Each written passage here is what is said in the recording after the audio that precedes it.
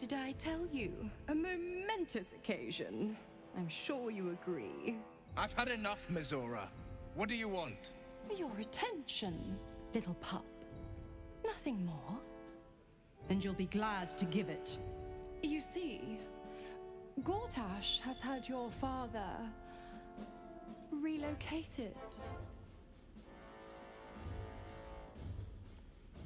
I'm just an impartial observer.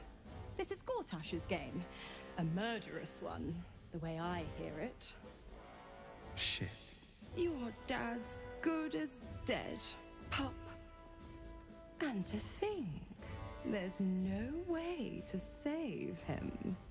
Or is there? You know something. I know enough. I'll be in your camp if you want to work something out.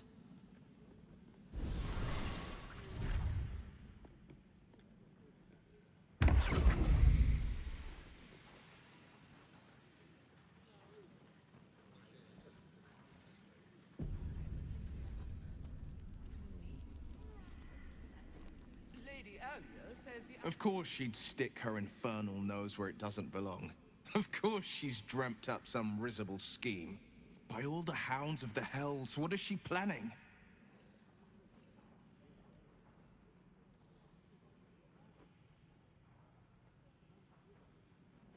Certainly not.